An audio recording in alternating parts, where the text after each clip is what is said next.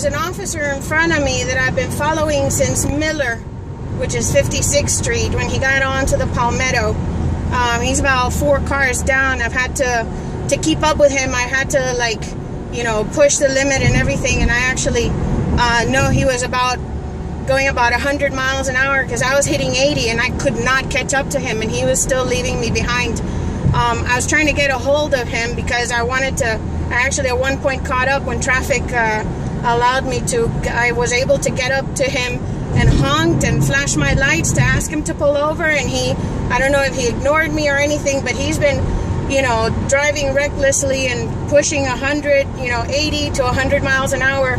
Uh, you know, throughout the, the highways and just trying to, I don't know where he's going, what the emergency is, but he is, uh, he was driving very recklessly earlier and he was, you know, just switching through lanes and just endangering, you know, I guess that uh, that could be considered endangering of the public. Um, I caught his uh, ID, his vehicle ID is 2504A as an apple. Um, when